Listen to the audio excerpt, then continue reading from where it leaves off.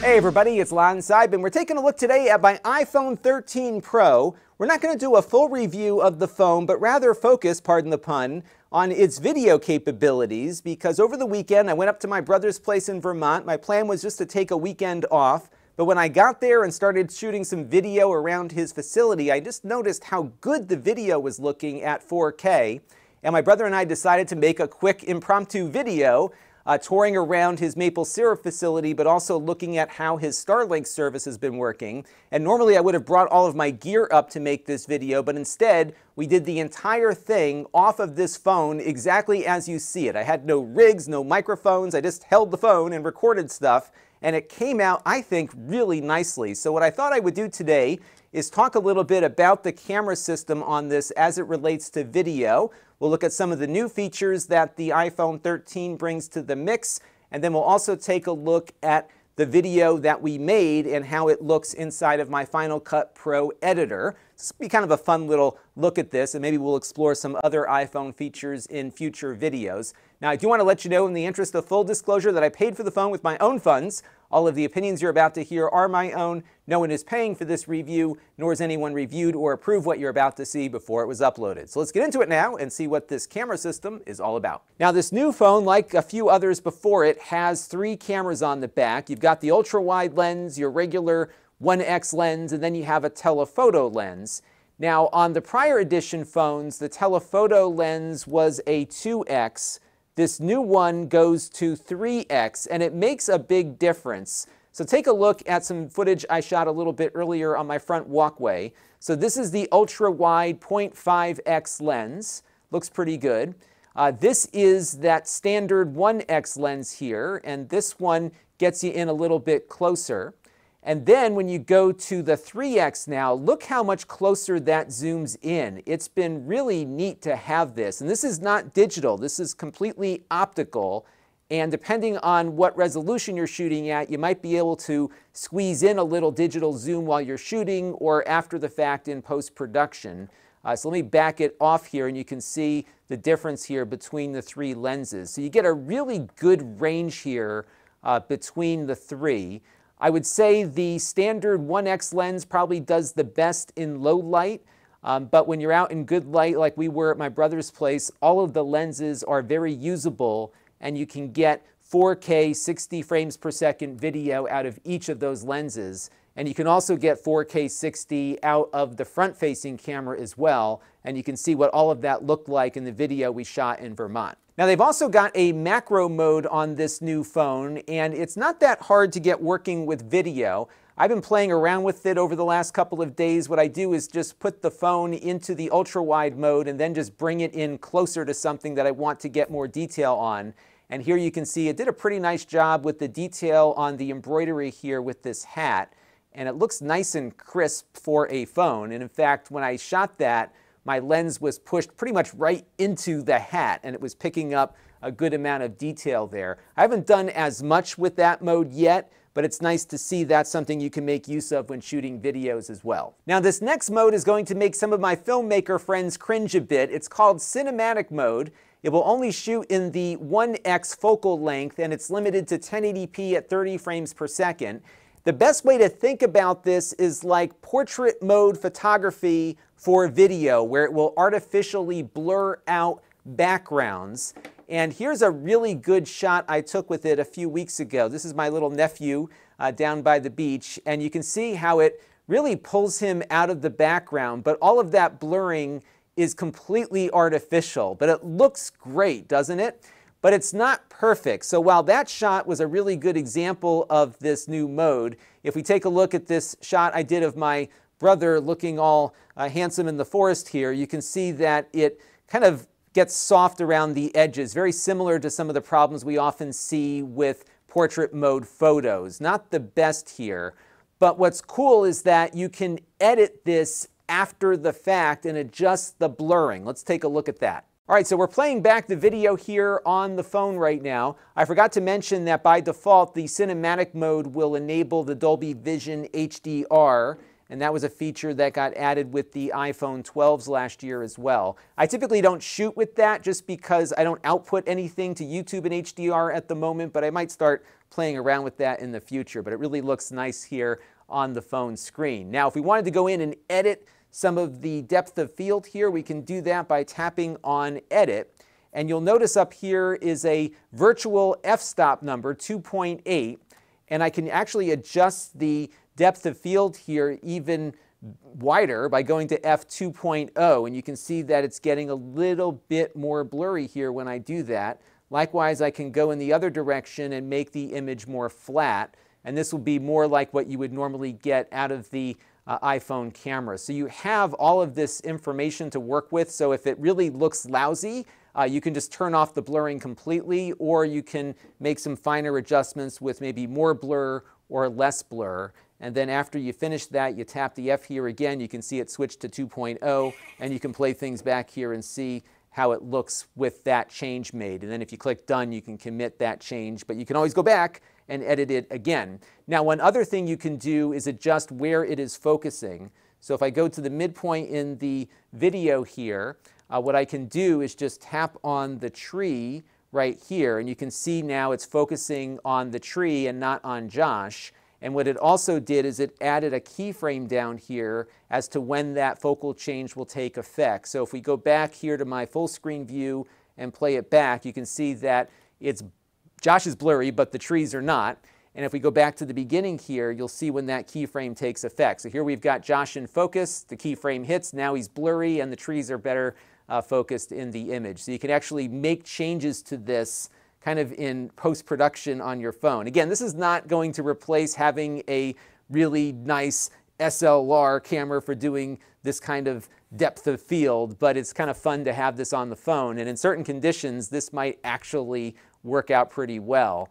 And it was just kind of fun to play around with this and see which kinds of lighting conditions work best for it. Now there's one other way though you can get some really nice natural depth of field and bokeh in video. Let's take a look at something I shot out in the yard a little bit earlier. So this is a shot I did with the 3X lens out in my backyard and as you can see optically I can just change the focus on that 3X lens and go back and forth between the foreground and background and that, of course, will give you a much sharper natural image because we're not using any digital trickery here. This is all optical. So if you're looking for a better depth of field, play around with some of those lenses and see if you can position your talent in a way that gives you that effect for real out of the phone. And I was just really impressed with uh, just the level of video bokeh you can get out of that 3x lens with a close subject like this. Really neat stuff. But just remember though, when you've got that nice, beautiful, natural, blurry bokeh, you can't edit it later like you can from the cinematic mode video. So get it right the first time out in the field because you can't change it later. Now another neat feature of the new iPhone 13 Pro here is that it can now shoot ProRes 422 video natively. And that's important for filmmakers because ProRes is a much higher quality codec than the native HEVC compression that the camera app typically uses. Now that's the codec we shot my Vermont video with. It looks fine for most applications, but I think if you are someone who is doing some really professional filmmaking work, you're going to want the best quality going in. ProRes, of course, is what Final Cut Pro uses for editing, and of course you have much finer control over color grading and other things when you've got a professional video format as your source material. Now, the app I'm using to get ProRes working is called Filmic Pro. This has been out for a while. It gives you very granular control over the iPhone's video functionality. So you can go in and adjust your white balance manually. You can set all of your exposure levels manually, kind of lock everything in. You've got your audio meters here on the side as well. It's a really nice professional video app, and it now lets you select the ProRes video format when you are shooting video. The problem, though, is that these files are enormous. Check out the bit rates on this. So right now I've got mine set to ProRes 422, which is kind of the midpoint here. It's about 540 megabits per second at the maximum bit rate. It is a variable bit rate, so it'll vary uh, up to that point. And then there's also the HQ format, which a lot of folks use with their professional cameras, and that can go up to 735 megabits per second. And you can see just how quickly these files can take up space. And if you don't have a lot of storage on your iPhone, you can see how little video you can store with it. So right now on my phone, just with that 422 format, I can only shoot about 10 minutes of video. You can see it up there in the left-hand corner. Watch what happens if I switch it over to 422HQ. I go down to 8 minutes, and I've got the 256 gigabyte phone here. So you have to really clear off everything to give yourself enough space because, of course, these iPhones don't support any kind of external storage. Now, you can shoot uh, up to 30 frames per second at 4K in this mode. You can't yet do 60. And on the lowest capacity phone, the entry level one, which I think is 128 gigabytes, they limit you only to 1080p for your resolution just because you wouldn't get much video storage at all. So to use this, I think the one terabyte phone is probably the best way to go. I will probably use this occasionally for B-roll and that sort of thing, but because of the file sizes here, I'm probably going to stick to HEVC for the most part. The other challenge is getting the footage off the phone. So I guess you could use AirDrop. That'll take a while over Wi-Fi. You could maybe wait for it to sync up with your iCloud account, or you could plug the phone in directly. But remember, these phones are only using USB 2.0 data speeds still, even this new fancy phone here with the lightning connector. So it's going to take a really long time to transfer the video over. Now, if you do decide to plug in the phone and transfer your video over, there is an app built into the Mac called Image Capture. This has been around for a really long time.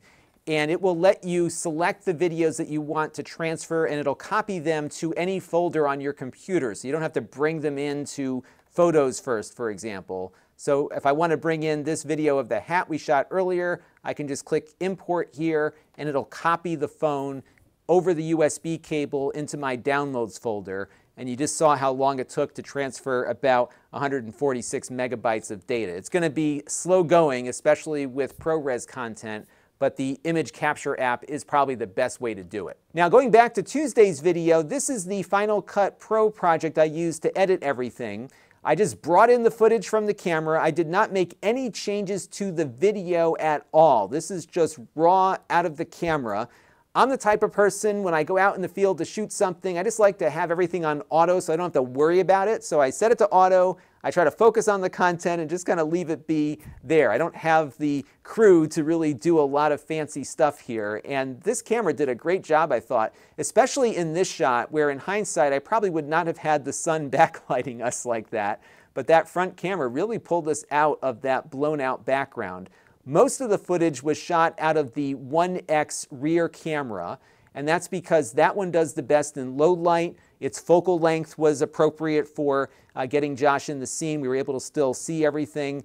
Um, and the stabilization, even when you're shooting 4K at 60 frames per second, is outstanding. This was all handheld. I didn't have any kind of gimbal or stabilizer. I was literally holding the phone like this, and you can see just how smooth those shots were even when I was walking around. So I am just totally impressed with everything the phone delivered. I did do a little bit of audio work in this. Let me double click into this one here. So you can see in a lot of these clips I added the compressor filter which helps bring out the dialogue a little better. We did have some ambient background noise from the woods and stuff, and the compressor really does bring out voices better when you have a little bit of noise in the background. So that's the one uh, thing that I added there.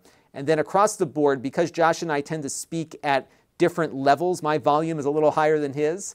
I use the, um, uh, the adaptive limiter filter here, uh, which is something that Final Cut uses to help normalize out the audio. So you can see when we go into some of these clips where there's a lot of peaking, you'll see in this reduction area uh, the audio getting reduced a bit. And this keeps our audio fairly close, and that's something that I've used from time to time when I've got varying audio levels out in the field. Now, if we were not in quiet Vermont, uh, the audio would have been a bigger issue because the phone will pick up all that other sound that might be in the area with you. So if you're at a trade show or something where there's a lot of human voices going on or a lot of cars driving by, you're still going to want to hook up an external microphone. And I've got a little kit I've been putting together for future field activities with external mics. Let me show you what I got here. Now the first thing I wanted to show you is this little clip that I got from my phone called the Glif. And what this does is it uh, very securely attaches to your phone. There's a nice clamp here that you lock in.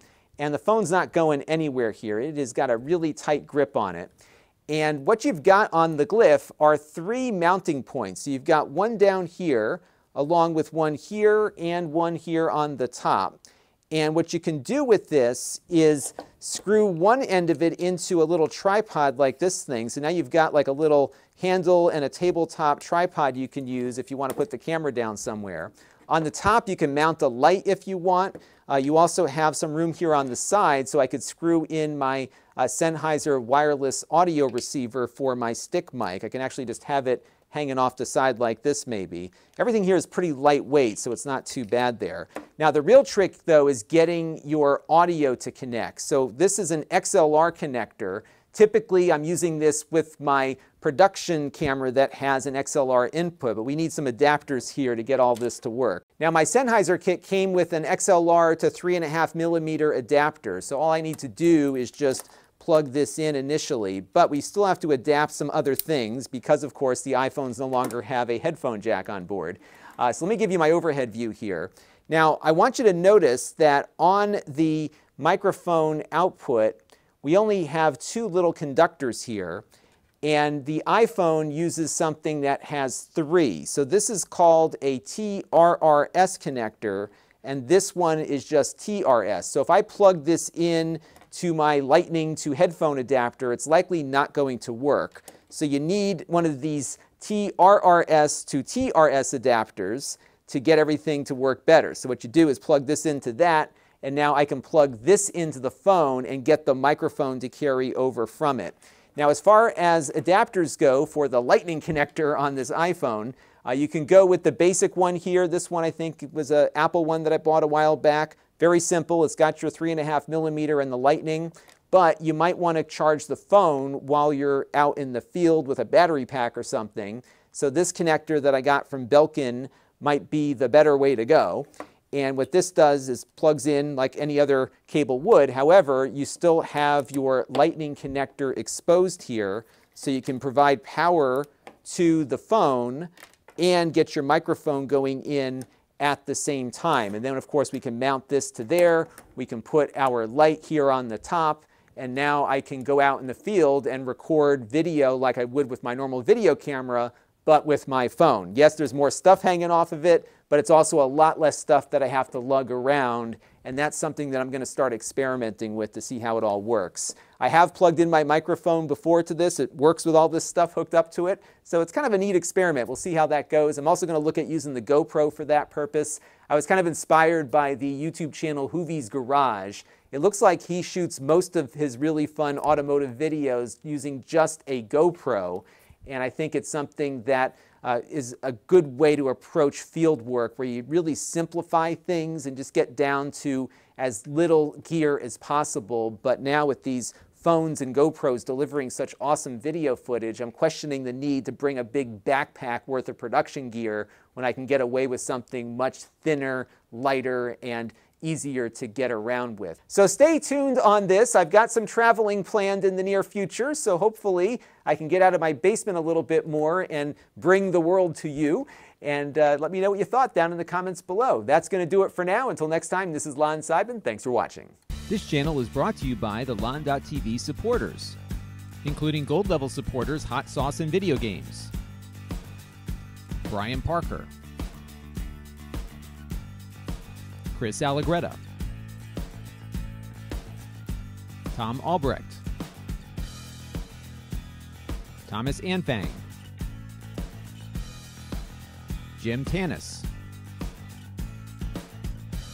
and Handheld Obsession. If you want to help the channel, you can by contributing as little as a dollar a month.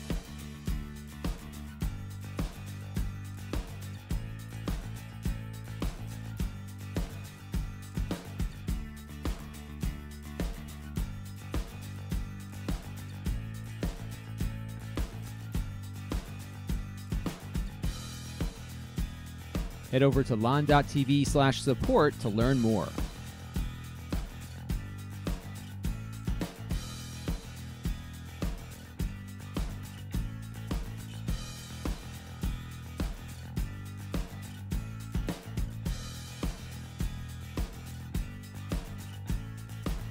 And don't forget to subscribe. Visit lon.tv slash S.